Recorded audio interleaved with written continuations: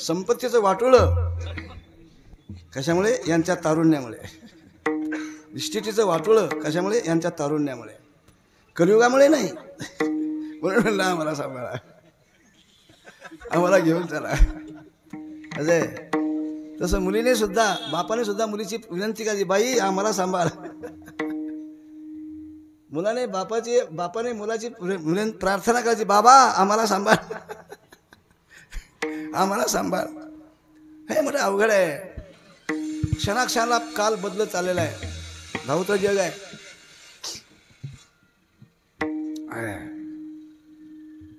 नाही त्या गोष्टीला मान्यता जगतात होऊ लागल्यात. म्हणून पहिल्यांदा मुलगी होणं खूप चांगलं आहे. सरकार मान्य आहे.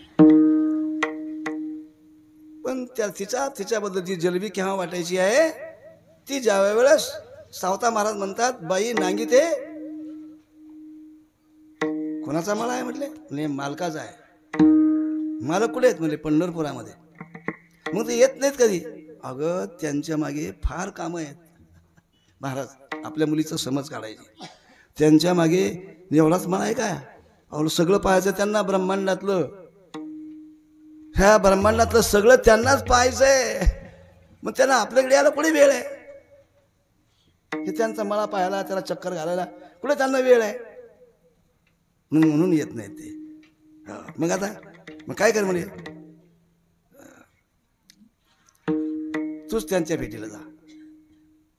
आणि मग जे तिचे संस्कार पाहून तिचे शब्द ऐकून सावता महाराज प्रसन्न झाले आणि आपली मुलगी उचलली पंढरपूरला घेऊन गेले आणि नामदेव महाराजांच्या चरणावर घातले.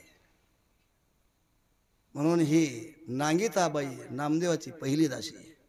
आणि जनाबाई दोन नंबरची दाशी आहे नंतरची आहे. जनाबाई दोन नंबरची दासी आहे आणि नांगिताबाई सावता महाराजांची मुलगी ही पहिल्या नंबरची दासी आहे. म्हणून आपल्या मुलीला अशा प्रकारचं योग्य असं वळण द्यावं तिला परमार्थ शिकावा. तिनं जर हापकट केला बाप कट केला तर बाप कट होऊन पुन्हा तिसराच कट पुढे यायचा. बेकार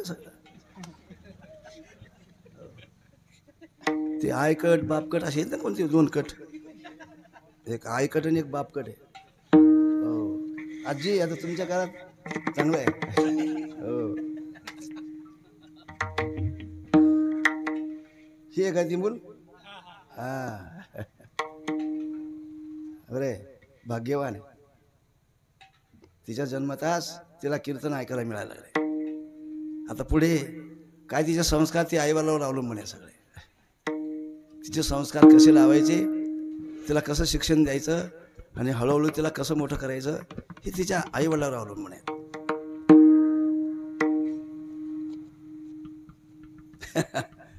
हो.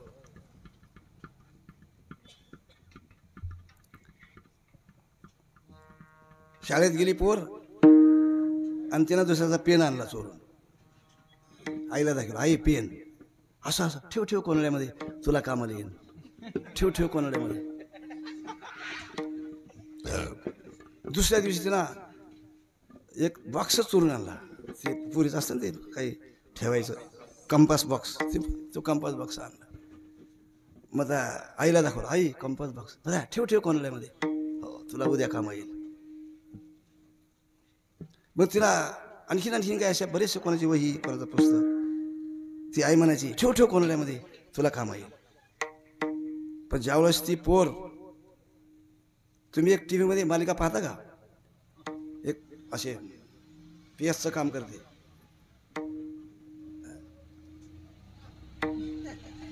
पी एस आय काम पी एस आय काम करते ती. हा? हो. कोण? फौजदारकीचं काम करते. ती पोर. हा.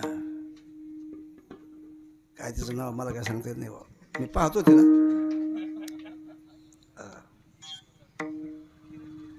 किरण देवी. हा याच्या पाठीवर. ती किरण देवी. तिनं मोठ्या मोठ्याच तिचा- मी ते खाली पाहायला हो त्या किरण देवीने.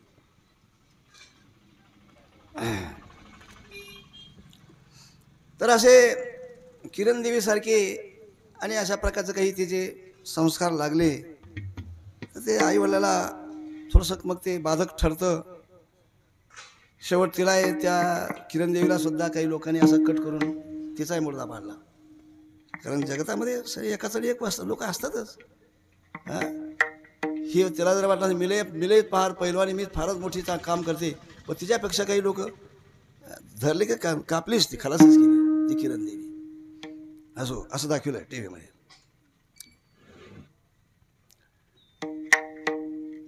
मग ज्यावेळेस ती पकडण्यामध्ये चोरी करताना ज्यावेळेस पकडण्यात आली ती पोर आणि मग तिला ज्यावेळेस फाशीवर देण्याचं काम आलं द्यायचं काम आलं त्या पोरीला म्हणजे तिला म्हणजे काय तुझी फाशीवर द्यायचं? तुझी काय इच्छा आहे?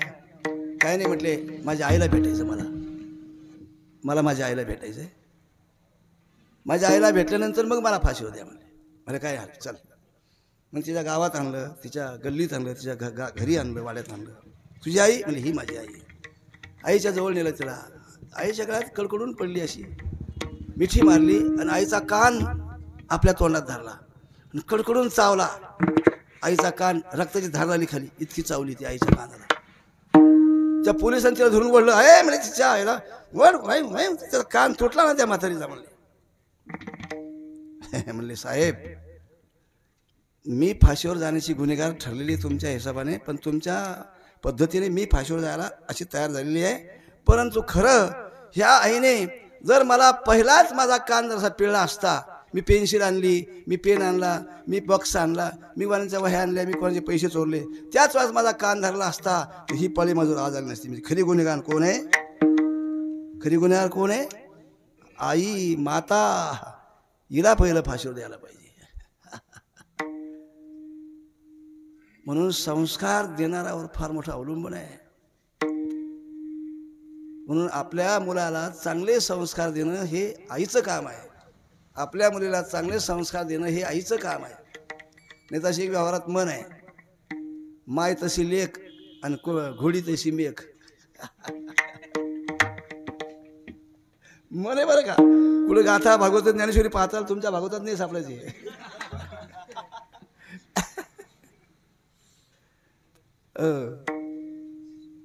माय काय करत होती म्हणजे असंच करीत होती. मग आता पोरगी तसंच करायला लागली. तर असा प्रकार आहे व्यवहारात असं घडत आहे असं पाहायला मिळत आहे. म्हणून आपल्या मुलाला आपल्या मुलीला आपल्या पाल्याला पालकांनी योग्य संस्कार द्या.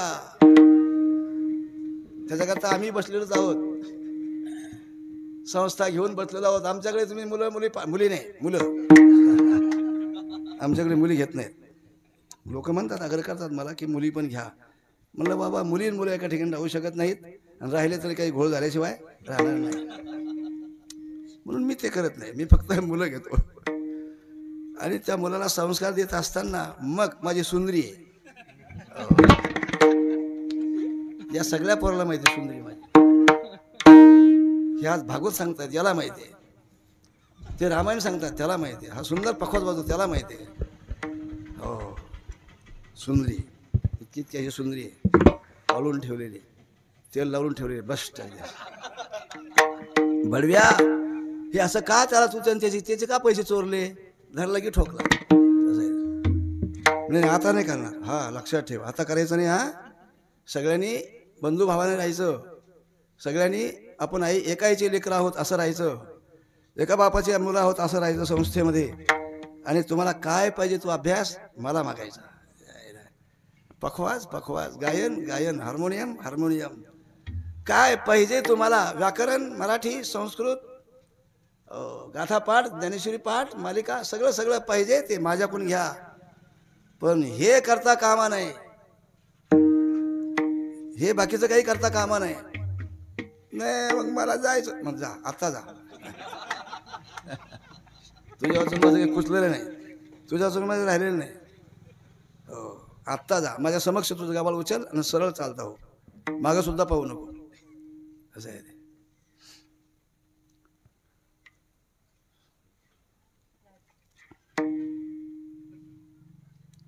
दोन चार दिवस झाले तू घरी आलाय. असा ठोकला धरून त्याने चपलाच घालून गेला एक जणाच्या आलेल्या माणसाच्या. चांगल्या चपला होत्या. मला भेटायला आलेली माणसं. त्याने चपलाच घातल्या आणि गेलं तिकडे तिकडे. तिकडे बा बाजारात गावात नात मारत तिकडे गेलं. त्याला वाटलं हे घर घटकावर पाच सोडून जाते निघून. मग आपल्याच. मग चपला कोणाच्या? आपल्याच. मी काय कोणाला बोलतो होतो माझ्याच आपल्या आहेत. कारण चोर हे नाही, माझं आहे. असं सांभाळावं लागतंय. हो मग? हे असं सांभाळावं लागतंय. तुम्हाला सांभाळायचं नाही का त्या चाकूकडे चालले बोंबलत? पुन्हा तो असं म्हणतो चोर. तुम्हाला सांभाळता येत नाही. हे असं सांभाळावं लागतंय पायात ठेवावं लागतंय. चोर म्हणतोय. धरला ठोकला तापच आला. म्हणत घरी जा. ताप चांगला धरून ये. आणि जमलं तर ये. नसलं जमत तर येऊही नको. काही माझं काही कुठलेलं नाही आडलेलं नाही. पण हे असं करता कामा नाही कोणाच्या चपला उचलता कामा नाही कोणाचे पैसे हां त्याच्या पैशाकडे पाहायचं नाही. कोणी एखाद्या पोराच्या पेटीमध्ये खायला असतं आईवडिलांनी दिलेलं बाबा खात जा सकाळी सकाळी.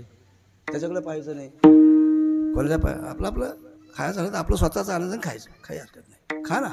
तुम्ही तुमच्या पैशाचं खाता. मला थोडं तुम्हाला काही द्यायचं आहे चांगले संस्कार लावण्याचं काम मी करतो. आणि त्यावेळेला ते बाप म्हणते बाबा तुम्ही माझ्या पोराला मारलं. मारलं म्हणजे? तू का माझा दुश्मन आहे का? त्याला मारायला? तो का माझा शत्रू आहे का त्याला मारायला? त्याला विचारा काय केलंय म्हणून. मग ते असं खाली पाहत हो. तर संस्कार लावणं कोणी म्हणलं नाही पाहिजे. संस्थेतला विद्यार्थी नवले महाराजा संस्थेतला विद्यार्थी तू असा चोऱ्या करतो म्हणून. तुला काही नाही आलं तर चालेल पण आईवडिलाची सेवा कर. शेती कर चांगली. राहा संसारामध्ये आणि चांगलं करा. दारू पिऊ नका. मांस खाऊ नका. चोऱ्या करू नका गुंडगिरी करू नका गावामध्ये. याच्या त्याच्या लावालाव्या करू नका गावामध्ये. आपला हरिपाठ आपली ज्ञानेश्वरी आपला भागवत आपला गाथा आपलं चिंतन तुळशीला पाणी तुळशीला प्रदक्षिणा आईवडिलाची सेवा हे करा. आणि तुमचं कल्याण होईल. असं केल्याने काय होईल? तुमचं कल्याण होईल. तुम्हाला माणूस म्हणून लोक पाहतील. आणि माझ्या संस्थेचं नाव होईल किंवा हे संस्थेत शिकलेला पोरगा असल्यामुळे कुठलेच वाईट संस्कार त्याला नाही आहेत हो. माझंही ना तुझ्याबरोबर तुझ्याबरोबर माझंही नाव निघेन की नवली माझा विद्यार्थी आहे हो. तर असं संस्कार देणं हे फार मोठं पालकाचं काम आहे. मी त्याचा पालक म्हणून काम करतो ना. आज माझ्याकडे ऐंशी मुलं आहेत. ऐंशी मुलाचं पालकत्व मी त्या ठिकाणी पाहतो. त्याची हमी मी घेतो. छातीवर हात देऊन सांगतो. हो. त्यांनी चांगला झाला एकदम बेस्ट माणूस. माणूस म्हणून माणूस त्याला पाहतील लोक. तर असं संस्कार झालेल्या मुलाला संस्कार देणं झालेल्या मुलीला संस्कार देणं हे पालकाचं काम आहे. म्हणून आमच्या मुक्ताबाई त्यांना संस्कार दिले. विठ्ठलपंत आणि रुक्मिणी माता त्यांची माता त्यांनी संस्कार दिले आपल्या चारही भावंडांना निवृत्तीनाथांना ज्ञानेश्वर महाराजांना सोपान काकांना मुक्ताई फार मोठे संस्कार दिले. इतके संस्कार सुंदर दिले पारमार्थिक संस्कार. घरची परिस्थिती कठीण वाईट मधुकरी केल्याशिवाय खायला मिळत नव्हतं. म्हणून ज्ञानेश्वर महाराज मधुकरीला जायचे. गावामध्ये मधुकरी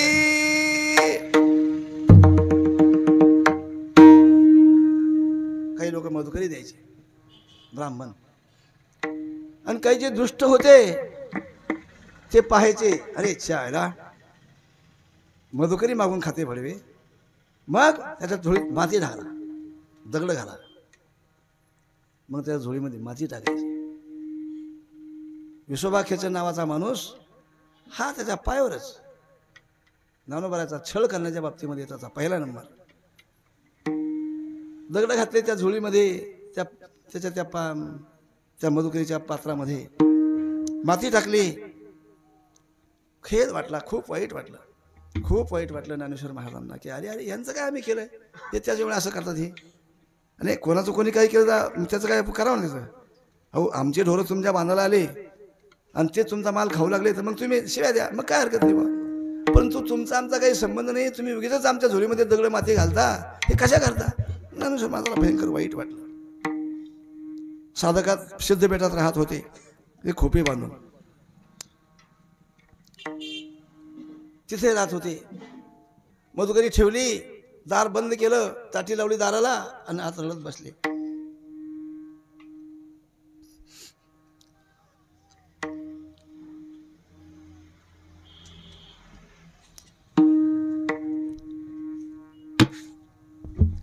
ज्ञानेश्वर महाराज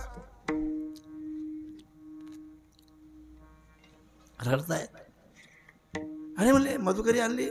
कुठे कुठे गेला कुठे गेला? तर मजुरी टेकली तिथे आणि ताटी लावून आत बसलेलं मग ताईने पाहिलं फुसफुस फुसफुस फुसफुस आवाज येतो. मुक्ताबाई त्यावेळेस सात वर्षाची मुलगी होती सात वर्षाची. मुक्ताई लहानची मुकली अशी सात वर्षाची. पण काय तिचा विवेक विवेक संपन्न ती मुल विवेक संपन्न सात वर्षातच. विवेक संपन्न दादा का रडतो? का रडतो? आणि तू तर स्वतःला साधू म्हणून घेतोस हा? आणि तू रडतोस? साधू म्हणून घेणारे माणसं असे रडत असतात का? मुक्ताईने ज्ञानोबरायला बोलायला सुरुवात केली. या अभंगामध्ये योगी पावन मनाचा. योगी पावन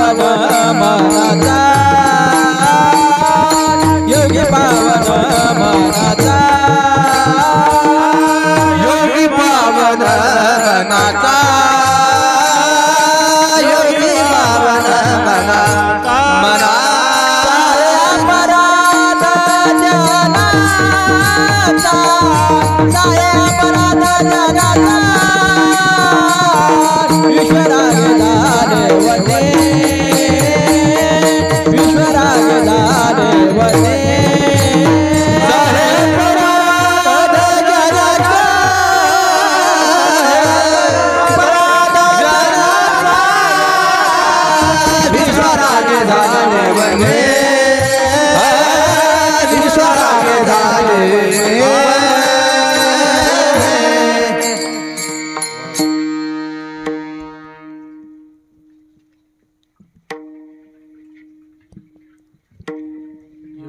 नामदेवराय म्हणतात. तुमचे नाही बरा दिसत असे. देव म्हणतायत नामदेवराय.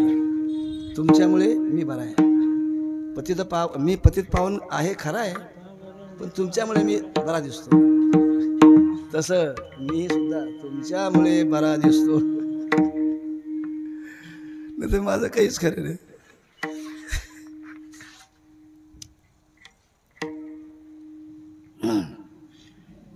तर असा मुक्ताई म्हणतायत सात वर्षाची मुलगी आपल्या भावाला सांगते बाबा दादा काय झालं? तुम्ही आपल्याला योगी बनवून घेता. तुम्ही संत म्हणून घेता तुम्ही साधू म्हणून घेता आणि असं रडत बसता झालं काय? हे साधूचे लक्षण नाही. म्हणजे असा असा मला त्रास दिला लोकांनी. हम्म. मग लोकांचं कामच आहे त्रास देणं. आणि त्यात पुन्हा साधूला साधूला त्रास जास्त होत असतो.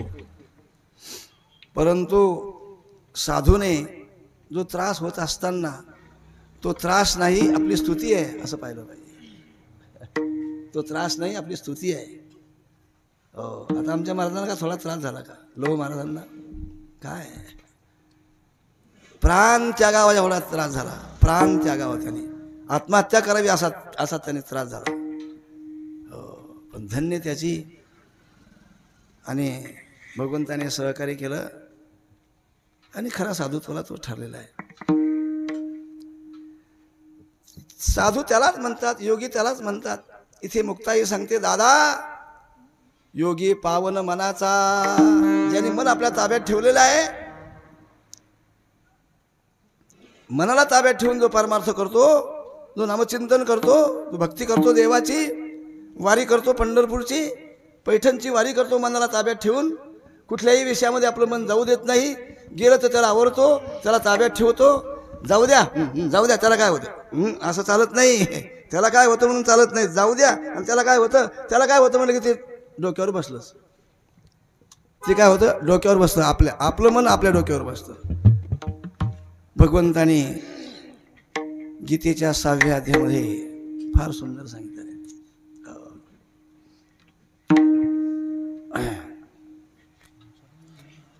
हे मन आपण जर ताब्यात ठेवलं तरच ते आपलं. आणि जर त्याला मग त्याला काय गेलं जाऊ द्या येईल. आता ती येत नाही मागं. ती तिकडंच भटकणार आहे. आणि तुम्हाला गचंडीवर देणार आहे. तिकडं भटकून. तुमची फजिती करणार आहे ते मन. म्हणून बंधुरात्मा आत्मनस्तस्य येनात्मैव आत्मना जित अनात्मन सुशत्रुत्वे वर्ते तात्मैव शत्रुवत. माणसाला कोणी शत्रू नाही जगतामध्ये. आपणच आपला शत्रू आहे. माणसाला कोणी मित्र नाही जगतामध्ये आपणच आपला मित्र आहे. म्हणून एका सुभाषितकाराने फार सुंदर गोड सांगितलंय. मन एव मनुष्यानाम कारणम हो बंधाय विषयासक्तम बंध मुक्तही निर्विषयम स्मृतम.